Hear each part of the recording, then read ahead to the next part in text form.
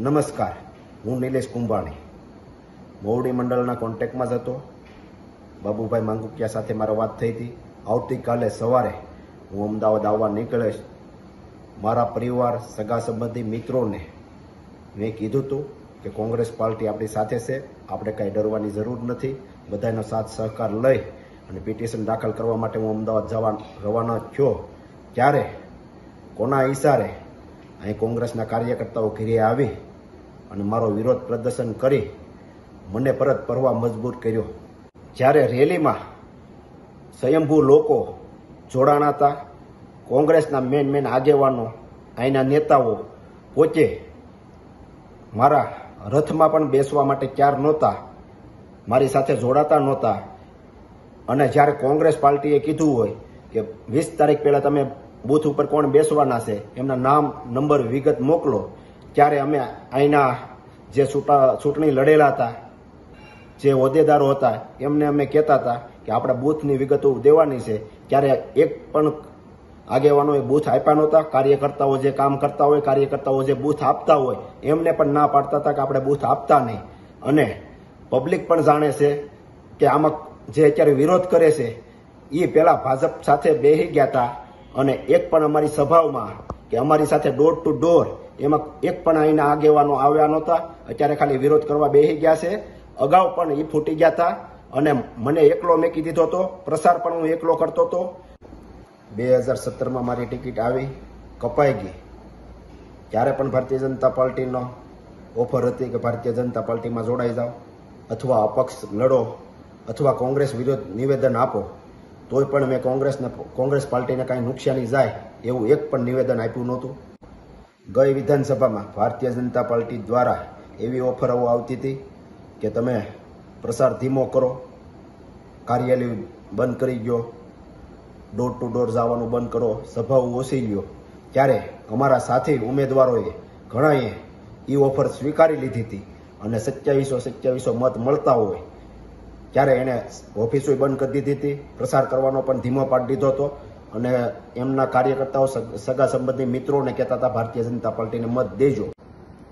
પરેશભાઈ ધાનાણી જ્યારે પહેલી સભા લેવા સુરત મોટા વરાસા આવ્યા, ત્યારે કોંગ્રેસના આગેવાનો દ્વારા કોંગ્રેસનું ટેજ ટૂંકું પડતું હતું.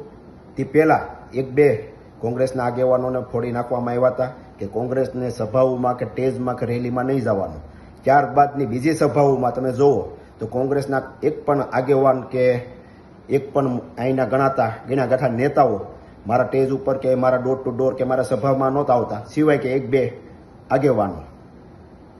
અત્યારે જે વિરોધ કરે છે, એમને તમે પૂછજો કે આમ આદમી પાર્ટીના નેતાઓ, આમ આદમી પાર્ટીના કોર્પોરેટરો, આમ આદમી પાર્ટીના કાર્યકર્તાઓ જે સાથે રહી મહેનત કરતા હતા, કોંગ્રેસના આગેવાનો નેતાઓ કોના દબાવ આવવાથી કોને ફોડ્યા હતા અને મારી સભાઓમાં કે ટેજમાં કે મિની બજારમાં અમે ગયા હોય ડોર ટુ ડોર એમાં નહોતા આવતા. મિની બજારની સભામાં નહોતા આવતા. મોટા વરાસા ડોર ટુ ડોર ગયા, એમાં નહોતા આવતા.